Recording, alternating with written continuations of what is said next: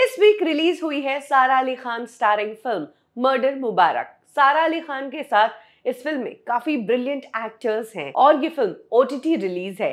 लेकिन फ़िल्म के रिलीज़ होते ही इस फ़िल्म का एक वीडियो वायरल हो रहा है।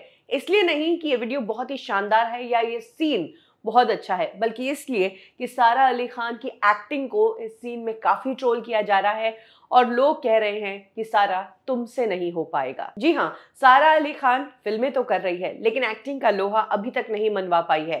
सारा अली खान हँसी मज़ाक के सीन्स तो कर लेती है, लेकिन उनकी बैंड बच जाती है इमोशनल सीन्स करते वक्त और झगड़े वाले सीन्स करते वक्त।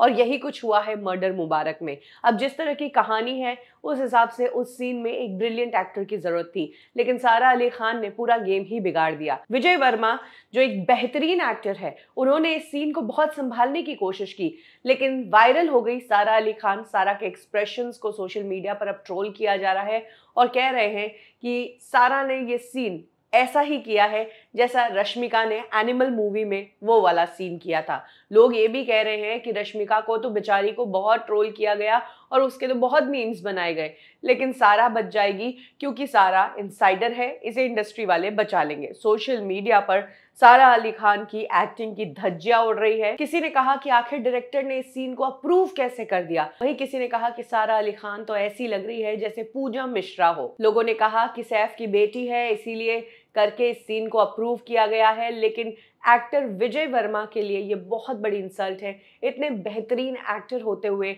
उन्हें क्या क्या दिन देखने पड़ रहे हैं? कुछ इस तरह से लोगों ने रिएक्ट किया है सारा अली खान की इस फ़िल्म पर।